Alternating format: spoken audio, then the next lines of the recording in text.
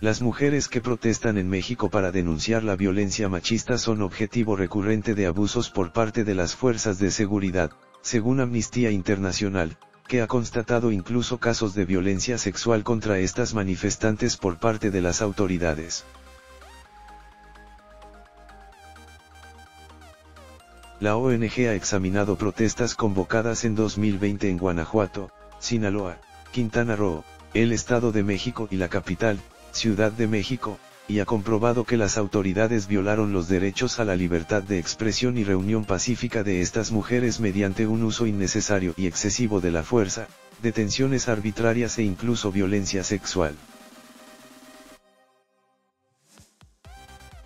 El informe, que lleva por título, México, la era de las mujeres estigma y violencia contra mujeres que protestan, recoge que los policías detuvieron a más de una decena de mujeres sin identificarse, las mantuvieron incomunicadas durante un largo periodo de tiempo y las trasladaron por rutas poco frecuentadas sin decirles a dónde iban o incluso sin presentarlas ante la autoridad competente, lo que derivó en el miedo a sufrir una desaparición forzada. Muchas mujeres no sabían dónde estaban, quién las detenía y a dónde las llevaban, ha explicado la directora ejecutiva de Amnistía Internacional México, Tania Renea Umpansi, que ha denunciado también un lenguaje violento y sexualidad durante los arrestos y traslados, con amenazas de todo tipo de violencia.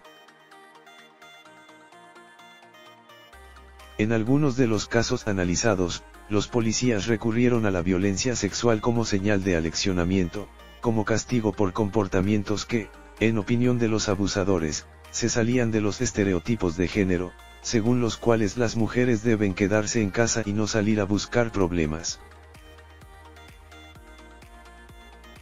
Amnistía ha recordado que toda violencia sexual cometida por una autoridad del Estado debe ser considerada como una forma tortura. Estigmatizar a las manifestantes en general, la responsable de Amnistía considera que las autoridades de distintos niveles de gobierno han estigmatizado las manifestaciones de mujeres, caracterizándolas como, violentas, con el fin de deslegitimar su activismo y cuestionar sus motivos.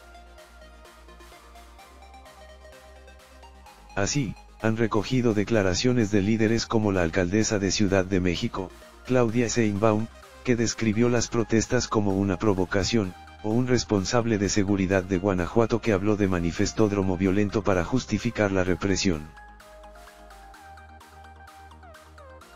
Que no se confundan, estas protestas son un reclamo del derecho de las mujeres a vivir una vida libre de violencia.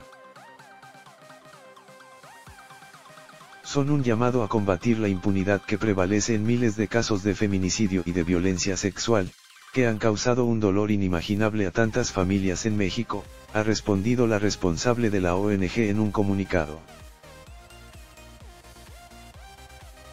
Amnistía Internacional ha instado a las autoridades a reconocer la legitimidad de las protestas y a abstenerse de declaraciones que estigmaticen a quienes acuden a ellas, al tiempo que ha llamado a investigar los presuntos abusos cometidos. En última instancia, ha reclamado medidas efectivas para prevenir las diversas formas de violencia que sufren las mujeres, entre ellas el feminicidio.